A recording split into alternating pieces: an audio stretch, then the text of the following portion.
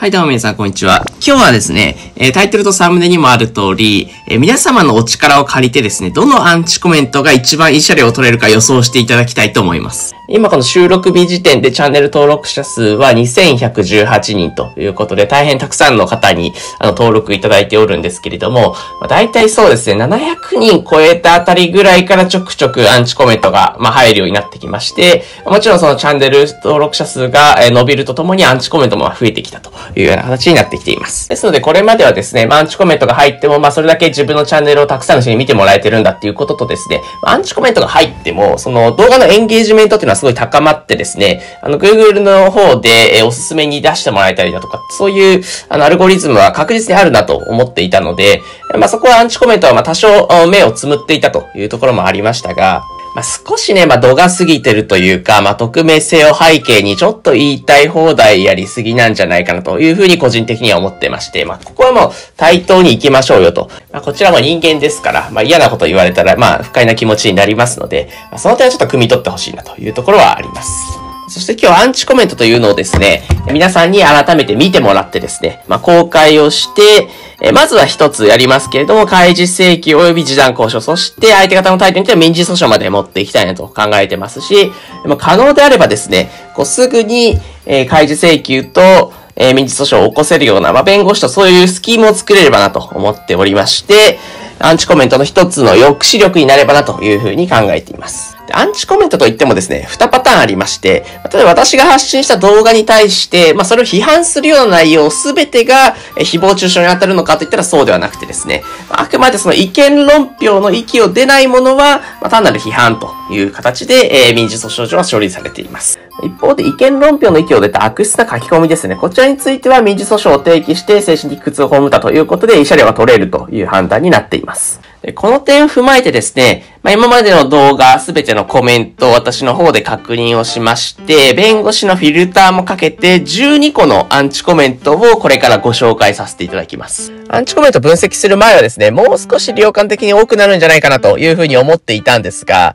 これ1000件近いアンチコメントを見てみると、この数のほとんどがですね、意見論評の域をギリギリ出ない、まあ、要は批判を過激化したような表現のものがすごく多くてですね、これ YouTube を発信する側としては、まあ、ここはちょっと我慢せざるを得ないところなのかなというふうに考えています。ではこれから順を追ってですね、発表していきたいと思いますので、この動画をご覧になった皆様はですね、どのアンチコメントが一番いい車両を取れるか、まあ、振るってですね、もうお気軽にコメントを入れていただければなと思います。嬉しいことにコメントが多ければですね、投票数が多ければ後日アンケート機能を使って上位5つの決選投票をやりますし、まあ、コメントが入らなければですね、私と弁護士の方で決めさせていただいて、開示請求のやり方であったり、民事訴訟のやり方というのを動画で共有させていただければなと思います。まあ最終的にはですね、費用倒れにならないようなスキームを私の方で開発できたらなと思います。まあ、それはですね、えー自分で個人で開示請求をして、えーまあ、本人訴訟を行う方法なのか、まあ弁護士に案件を大量に振ってですね、えー費用を安くしてもらって、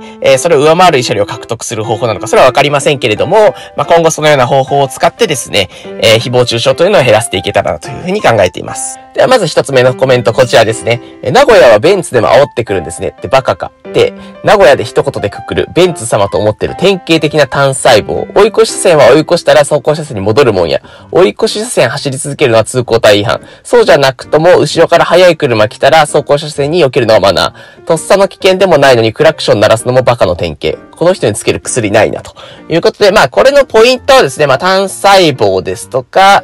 まあ、バカの典型ですとか、この人につける薬はないというところですかね。まあ、意見論評もありますが、誹謗中傷も混じっているという形のアンチコメントになっています。二つ目が短いですが、こちらですね。お前が悪いよ、カスということで、えーまあ、カスが誹謗中傷には確実に当たってくるかなと思いますね。で、まあ、お前という言い方はムカつきますが、まあ、これはまあ、若干我慢せざるを得ないかなというところですね。では三つ目。次も短いですが、こちらですね。お前みたいなのチンカスって言うんだね。笑いということで。まあ、これはもう一見してチンカスというところですね。ここが誹謗中傷に当たるというところなんですが、えー私の弁護士はですね、これ訴えたいと言ってましたね。まあ、チンカスが、えー誹謗中傷に当たるかどうかというところですね。4つ目がこちらですね。投稿主を早く捕まれバカがということで、まあ、早く捕まれというとこと、まあ、バカというとこが、まあ、誹謗中傷に当たってくるということですね。次5つ目こちらですね。お前がアホやからよということで、まあアホというところなんですが、まあこちら誹謗中傷に当たってくるのは確実というところと、意見論評が全く入ってないというところですね。次6つ目、こちらですね。古事記かよということで、まあ、古事記というとこが誹謗中傷に当たってくるかなというふうに思いますし、まあ、私個人的にはですね、まあ、ここ私の返信に対しての返信なんですが、まあ、この方結構ねちっこくてですね、まあ、何回もコメントを入れてきてですね、まあ、ただ、この古事記以外のものについては、まあ、意見論評の域をギリギリでない過激な表現といったところなので、まあ、私個人的にはこの古事記かよというものを誹謗中傷でいきたいなというふうに考えています。次、こちら7つ目ですね。この人に何を周りが言っても分かりません。頭のネジがずれてるから理解力がありません。周りが警察に取り締まり受けるのを待つしかないと思います。頭に来ますが、相手にするだけ時間の無駄ですということで、まあ、頭のネジがずれてるというところと、理解力がないというところですかね。あと、警察に取り締まり受けるのを待つしかないというのは、まあ、これは私に対するものではないですね。えー、この、まあ、多分おそらくコメントを入れてるアンチコメントの皆さんに対しても待つしかないと言ってるだけなので、これは該当しないかなと思います。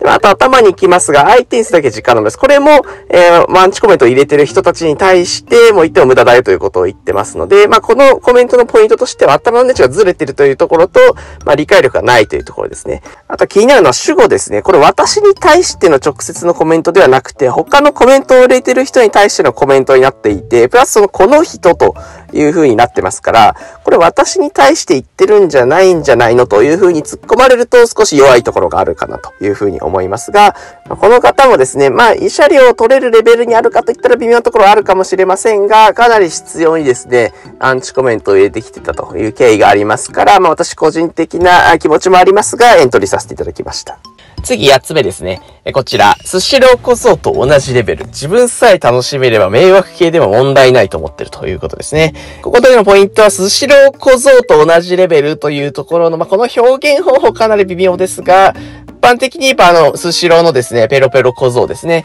えー、これと同じレベルと言われたらやっぱり不快な気持ちにはなりますし、えー、迷惑系というところですかね。ここも誹謗中傷に該当してくるのかなというふうに思います。次、9つ目、こちらですね。道民の民度が低いことを拡散しないでほしいです。他の返信見ると自覚ないのがさらにいたしということで、まあ、こちらは、ま、誹謗中傷というか、まあ、ありもしないことをコメントで入れられているというようなことですかね。道民の民度が低いことを拡散しているわけではないですし、まあ、自覚がないというのも意味がわからないです。まあ、この辺の、名誉毀損ではないんですけれども、まあ、ありもしないことを勝手にコメントで入れてくるというパターンですね。こちらもエントリーさせていただきました。次10個目こちらですね。投稿主が自分のヤバさを暴露する動画で草ということで、まあ、自分のヤバさを暴露してるという表現が、まあ、誹謗中傷に当たるんじゃないかというところですね。次11個目こちらですね。めんどくせえ男だな、この主ということで、めんどくせえ男というのが誹謗中傷に当たるかどうかというところですね。では最後こちらですね。相手も相手だけど、あなたの嫁さんの判断も悪かったんじゃない。強引にすれ違おうとして相手の車両にぶつけたことは事実なんでしょうと。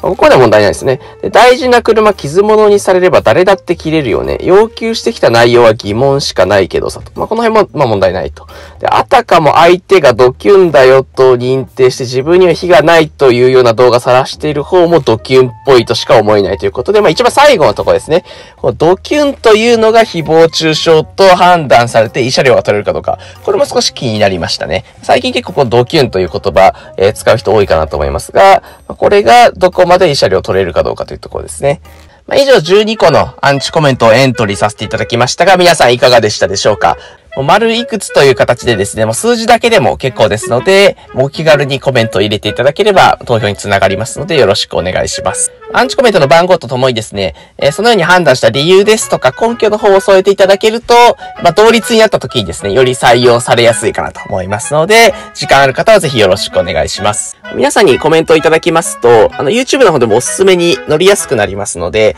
よりたくさんの人にこの動画見てもらえて、それだけ投票数増加にもつながるという形になりますから、えー、お気軽に本当に投票いただければなと思います。次回の動画ではですね、そもそも誹謗中傷って何なのというところですとか、まあ、批判との違いですね。あと、どのような法律に触れるかなども解説していきたいと思いますので、続きが気になる方はですね、チャンネル登録と高評価よろしくお願いします。コメントもどしどしお待ちしています。最後までご視聴ありがとうございました。